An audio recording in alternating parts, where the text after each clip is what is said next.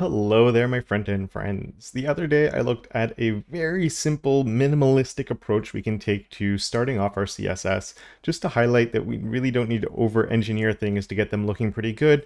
And while people really appreciated that, I thought we could step things up and still see how we can keep things very minimal, but create really nice layouts at the same time, but with a little bit more when it comes to colors and choosing nice fonts. Having some fluid typography could be a really nice thing, and just elevating the overall look while again staying very simple simple, but we're also looking at a few different resources we can use to do all of this that will make your life a lot easier. So to do that, we're going to jump right on into VS Code. And if you saw that last video, this page will look very similar to you because this is what we were working on. So we're going to continue from this one. We're going to start off the, I just have a main here with an article in it, and then we have our content that's just a whole bunch of different stuff in here. Nothing too complicated. And my CSS, as you can probably tell looking at the page, has absolutely nothing. And we're going to start with a really simple reset here. So we're just going to reset our box sizing. It's very common people like nuking the margins off of everything. So we're going to take that step right there. We're going to add in the light and dark color scheme automatically. Now this is based on the user's system preferences. So if they set their system to a dark theme, it will switch over to dark and we're just making sure our images are responsive. And when I hit save, you can see all of that has come through right there. Now we want a color scheme and one site I would recommend is real-time colors for it because it gives you a little bit more than just the default and you can push spacebar.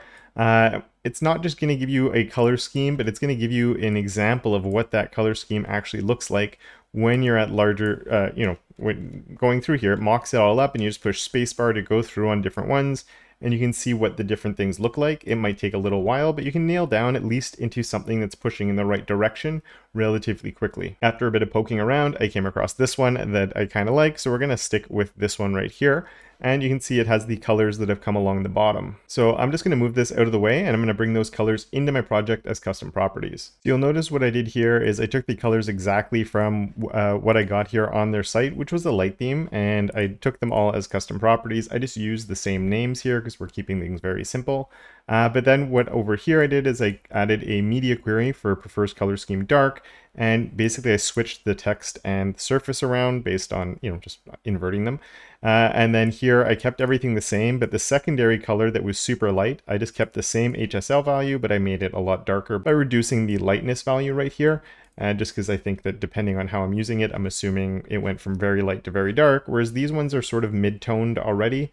And so I think we could probably leave them alone, but if I need to adjust it down the road, I always could. Now, Real-Time Colors does have options for fonts, but it's probably not what we really want. So another option is fontpair.co, and here it's just groupings of different fonts. You can find one that you think looks pretty good. So once you found the one that you like, you can head on over to Google Fonts and pull those over. I've grabbed the different font weights and everything that I want, and I'm going to grab them from here. If you prefer to self-host Google Fonts, I've also looked at that in a previous video. There should be a card popping up and a link in the description. So we can add the HTML from there into here, and then I can go and grab these two font families and bring them over here where I will set these up as custom properties as well. I'm calling mine font family base and font family accent. If you want it to be body and headings or whatever you want, name them however you want. And then we just need to go through and actually set these up and get everything working. So what we'll do is come here and start our basic body styling while we're at it. So we can create our body selector and I'm just going to go through this really quickly and set up all of the different things based on the custom properties we set up. Now there's usually a few other styles that I will put on the body. We're going to come back to those in just a second. But first, as we can see, everything is really jammed together and nothing has any room to breathe. So we're going to do two different things to fix that. First, I'm going to create a wrapper class. I used to always call this container, but now that we have container queries and you need to declare a parent container for things, I just don't want like a weird naming, like is it a container for a container query or is it just something holding content? Uh, maybe it could be both, but I've been using wrapper lately. So on here, I'm going to use a, a min function for my width, where I'm going to say 100% minus uh, 2 rem, or maybe we can even make that a bit bigger, 3 rem, comma, and we'll say the max size on here is 65 ch.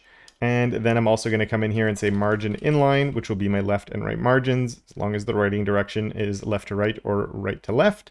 Uh, margin inline will be auto and hit save. And then we're going to come back over to my index and I'm just going to put the class is on my article here of wrapper so we can actually use that and it can hold our content in the middle of the page. Now to break this down a little bit, because you might be scratching your head on what's happening with this, and you could definitely do this with a couple of other lines, uh, but the 100% minus 3 rem means that the largest this can get um, if the page were to shrink. So if we open up our dev tools and we shrink things down a little bit and we open responsive mode there, as this gets smaller, we're going to have three rems split between the two sides here. So it's effectively one and a half rem of space on the left and on the right here is uh, just because this 3 rem is getting split between both sides. And then a max width of 65 ch is based on the font size of the body, and it's roughly 65 characters wide. This number can definitely be changed depending on your project. You could go with rems, you could go with pixels if you really wanted to. But for especially things that are more text-based, going based on CH makes a lot of sense because it is based on how the reading length of a line. And so if I adjust my font size, the max width will adjust with that. Now, the other thing I want to add here is a flow class. Um, I've got this from Andy Bell and Heydon Pickering where there's different ways of doing this. So I'm going to do it like this. This is called the lobotomized owl. It's selecting everything but the first child. So let's just do a background of red on here just so we can see that this is going to work. And we're going to have it as a flapper, uh, as a flapper, as a wrapper, and our flow right there. And you can see everything is getting a red background on it except for my H1 up there. So what that means is we can come back to here and instead of a background on there, we're going to do a margin top. And I'm going to say for now that it's 1em and hit save. This will be something else that we're going to circle back around to, but for now that is going to do the job and give us at least a bit of spacing to breathe. We're going to fix things up, sort of circle back and maybe make some tweaks to a couple of these numbers. Before I do move on, if you find this is too unreadable, you could uh, replace this with a where not first child and it should do the same thing. So if I hit save, you can see it has the exact same impact and I'm using where here to keep it at zero specificity. Uh, if is that more readable, it's up to you. If you'd prefer a different approach, you can. There is a reason that I'm going with margin top that we'll circle back around to in a little bit rather than margin bottom, which is good when you have text-based content like this. And I definitely wouldn't use either flex or grid to try and create spacing between all of these elements using gap, because then you have consistent spacing. We'll talk more about that a little bit later.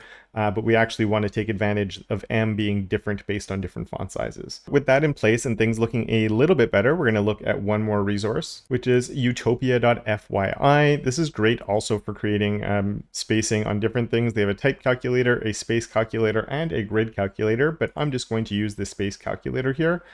I'm not going to deep dive how this works, but basically you set your minimum size, your maximum size, and the font size that you want them to be. And I think this is a nice default though I will go with a more aggressive scale at the larger font sizes where I'm going to bump it up just so we can really see this in action. And we're going to be creating a fluid type scale with this. In general, it's very common to have smaller scales when you're on mobile because we have less room overall, so we don't want the bigger fonts getting too gigantic. But when we have more re screen real estate on larger screen sizes, we can go in with more aggressive type scales where the bigger fonts are much bigger than the smaller ones, I guess is the simpler way to look at it.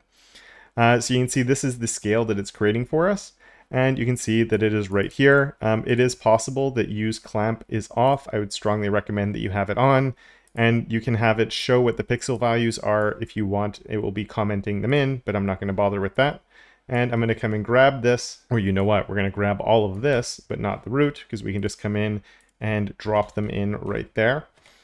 Now they call them step zero or step negative two all the way up to a step five right here. I don't need these two smaller ones. If you need them, by all means, you can keep them. And I'm also going to come through and update the naming here. So just give me one second.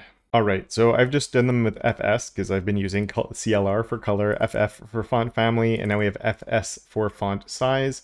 And I always treat 400 as my base font size. This is smaller and those are larger ones. I'm not going to be using the 300 for now, but it would I like having it there just in case I do need it for smaller font sizes. So then we just need to come through and set all of these up. And to do that, we're going to come back to our body here. Uh, we'll come up to here and we're going to say font size. And I don't care what the font size is. I just know that my font size is going to be my 400 because that's my base and you can see it's come in. Now it is actually really big, but that's fine. Uh, for easy things to read like this, for me, I like that. I'm old, I need large font sizes, but obviously use a type scale that would work for you. With this though, the one thing we'll notice is the line height is really squished together. So I'm gonna come here and I'm gonna increase the line height. I like starting with a 1.6 if you want a 1.5 or a 1.7. It's really up to you which one, but definitely the 1.4, which is the default, is very close together. So we can come in and increase that and you can just play around with it and try and find something that you think is nice and readable. The other thing you'll notice here, when I did that, if we did my font size smaller again, see how we're limited to this line length right here? And when I make that font size much bigger, if I increase this, notice how my container has gotten a lot wider now to match that font size that I've uh, put in here. And in doing that, I actually find it's a little bit long for how I have things set up right now. So I'm actually going to reduce the max width of my container here. So we're going to say, or my wrapper, I should say, we're going to say this is 55 CH. And I think that might give us something that's going to be a little bit better. And I sort of like that. Perfect. Now this is a fluid type, but we're going to get back to that in a second. For now, what we're going to do is finish setting things up. So we have my body. Let's come here and we need to say that we have my H1, my H2, H3. We could do this for all your headings, I guess, but we'll say font family in this case is going to be my var font family accent. And just because I know the font sizes on these are going to be quite large, I'm also going to come in here with a line height of about 1, 1, 1.1, 1.2. It does depend on the sizes, but when we're increasing it for smaller font sizes, we definitely want to decrease it for much larger font sizes. So that should help a little bit because now we can come in and we can come through and say font size, and I'm going to do my var font size, we'll try the 700 and you can see that has come in up there. It looks like I have two H1s and that was a mistake on my part. We'll fix that after. Uh, so that's my two, that's my three. This could be a 600 and then this one goes down to a 500. And I definitely have two H1s, which is a no-no. So we'll delete that one right there. Or you know what, we'll just make, uh, we'll make this one an H2 and we'll make this one an H3 just like that. So we get a little bit more of a taste of the different font sizes and everything that are coming in. And already it's looking quite a bit better. And as I said, these are going to be responsive or fluid uh, type scale. So now if I reduce this, you can actually see the font sizes are reducing themselves. And you can see what I meant about it being a less aggressive difference between the smaller size and the bigger size here. Whereas when we get to the larger viewports and we have more room, those larger font sizes are going to be much bigger than the font size we have here. Next up, we can use a couple of the colors that we came up with because we have the primary and the accent right there. So I think the first thing I'm going to do is I'm going to come right around after my heading font sizes and all of that. We can say that my links are going to be the color of my var uh, color primary and then we are also going to want our hover and an A focus. And let's just switch that over to the secondary and we can get the color and that wasn't secondary. I wanted to put the accent there where it was very different. And we have a hover, hover color that we can use on the links. And while we're at it, we might as well come up and say color here is my var color primary because that should add a nice little splash there. And you know what, that's looking pretty good. And I think I'd like a little bit more through the rest of the page as well. So we can just throw that color accent uh, or uh, primary down here and put that on my H2s as well, just to add a little splash of color as we go through. And one more thing that we can do, and I didn't do this when I created these colors because I was taking it from that color generator we had, but I'm going to duplicate my text here and I am going to add a little bit of variation to this, where this one I'm going to add body to it, just our text. We can do body. So this is like any text that isn't your body, I guess. Maybe we could have a better naming for this, but I'm going to bring this up to about a 15%, uh, maybe a 10%, and we're going to drop the saturation down on it. Um, basically, I want it to be something that's not quite as dark if it's in the light color scheme. And then we're also going to come through and do the same thing here, but we'll, we'll go with like an 85%. So it'd be very light, but it's not quite the pure white that we have there. And the reason I'm doing that is we can come down to our body and let's switch this one over. And it just sort of takes that edge off a little bit. It's a little bit less aggressive, but then we'd also want to come down onto our H3s here, and then we can put the color back, color var, color text. And here's where like the naming has fallen apart a little bit. Um, but I do think having the higher contrast, let's just come down. We can add another H3 right here. H3 with Lorem 10, just so this does have a little bit more punch and, and oomph to it. Um, whereas here we get sort of a little bit more of a toned down look, just like that. Another fun thing that we can do while we're here and we're playing with our colors a little bit, just to add that little touch and keeping our CSS very minimalistic, is we can also we'll come right here and I'm going to do a marker. And markers are these little guys here, and it would also be your numbers on numbered lists. And we can come in with a color on those, var color. Uh, why don't we, we'll, we'll use the accent just to change things up, though I do think it probably would make more sense to go with the uh, primary in this case. We can come in and you can just change the colors without having to do any work on those, which is super cool and super neat. I think it's it's fun being able to do something like that. Now, one thing that does not look good, in my opinion, is this guy right here. And this is a really cool thing. It's very new to CSS. It's not fully supported, but it's one of those things that like, if this looked like that, it's not the end of the world. It, it's fine, but we can improve it a lot. So what I'm actually gonna do is we're going to change uh, a couple of things on our headings as well. So what we're going to do is we're going to come on to these guys right here. And so what we're going to say is on my H1, H2, and H3, we can do a text wrap of balance. And no, I'm even getting an error here because VS Code is like, hmm? but you can see that it worked and it's balancing the line out. And so this is only going, you can see it's doing the same thing right here. It's taking lines where you have like a whole long line and then like this little thing sticking out at the end, and it does its best to try and balance those out. So if I turn that off, you can see it's making a change to both of these, and it just helps make things a little bit more readable. And if it doesn't actually kick in, it really doesn't matter. So it's just like, it's a nice little progressive enhancement that you don't really have to worry about. Uh, and as more people get newer browsers or updated browsers, and as other browsers gain support for it, more and more people get it. And that's it. It's super handy. Now, I said another thing we were going to circle back around to was our uh, flow class. So let's go and find it. It's right there. And right now I have that set to a margin top of 1em. And what I'm actually going to do is change this to an uh, we're going to call it flow space. And I'm going to do comma 1em, which is going to have the exact same result, where 1em becomes the fallback for these elements. But the advantage of it is, and 1em's already good because you can see the space here is much bigger than the space here. And if we look at the space, you know, same thing. The space here is bigger than the space here, which is bigger than the space here.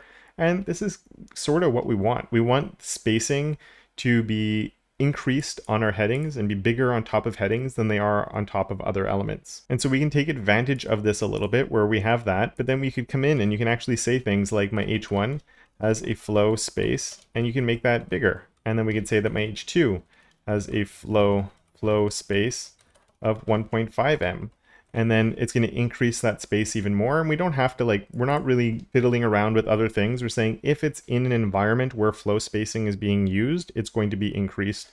Uh, we're increasing the margin top. And personally, I think this one is fine, but we're just sort of playing around with things and adding that. Now, I did increase it from my H1 and we're not seeing it because it is the first element at the top, right? There's nothing else that's in there, so it does not get that flow space on top of it. Because of that, you might just say that my H1 has a margin top of 2em. It really depends on how you want to work and on how your layout is, and there's so many different things that could play into this, and it really depends on what the markup would be in your project. So a few different options on how you could work, but there we go. I think that's actually looking much better, and we can come through and we have sort of these larger spaces like that really can help with the overall flow of your page. So I think that's already looking a lot better. And so there we have it, a very simple layout, nothing too fancy, but I think it's looking a lot better than what the defaults were uh, on this page. And hopefully a few of the resources that I shared along the way could help you get started as well. But of course, we don't always want articles and just have to do something simple like I did in this case. We sometimes need to actually include layouts and other stuff like that. But layouts don't have to be complex either. We can actually keep a lot of the layout stuff pretty simple. And if you'd like to know a few ways we can do that with CSS Grid, there is a video right here for your viewing pleasure. And with that, I would like to thank my enablers of awesome, Andrew, James, Enrico, Michael, Simon, Tim, and Johnny, as well as all my other patrons for their monthly support. And of course, until next time, don't forget to make your corner of the internet just a little bit more awesome.